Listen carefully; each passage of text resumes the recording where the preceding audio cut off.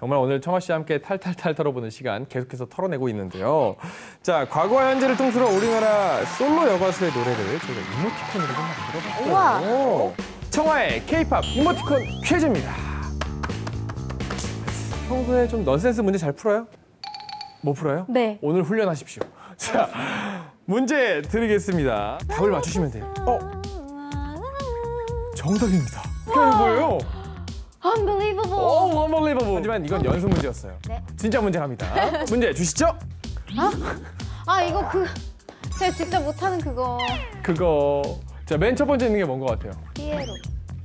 거의 다 왔어요. 난 차라리 웃으는 피에로가 좋아. 제목은요? 어 피에로는 피에로. 아 김한선 선배님. 맞아요. 거의 다 왔어요. 저 네 명을 뭐라 그래요? 우리를 피에로는 우리를 보고 아 웃자. 웃자. 웃는다. 피에로는 우리를 보고 웃지. 웃지. 아 맞아. 이 노래 좀 노래만 노래만 알. 어. 제가 제목 기억을 진짜 못해요. 제 팬분들도 아실 거예요. 알- 자, 노래를 좀 들어봤어요?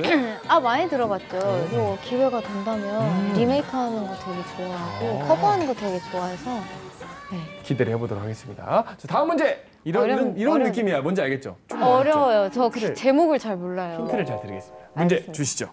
자, 정답 알겠습니까? 뒤, 오, 팬분들이 지금 막 자, 힌트를 주고 있어요. 팬분들이. 네. 어? 어. 배반의 장미. 어, 맞아요. 자, 저 배가 많이 돼 있고 장미였습니다. 정답이에요. 어렵다. 저. 맞을 수 있겠지? 네. 자, 다음 문제 또 가보겠습니다. 자, 다음 문제. 이거 진짜 어려운 문제. 난이도 별 4개짜리예요. 나를 보아요. 나를 보아요. 어, 아틀란티스의 소녀? 아니, 아틀란티스. 정답은요? 하나, 둘, 셋. 보아 선배님. 정답입니다. 아, 팬분들께서 저 이거 커버해달라고. 언제쯤 해주실 겁니까? 아, 언젠간 알겠지.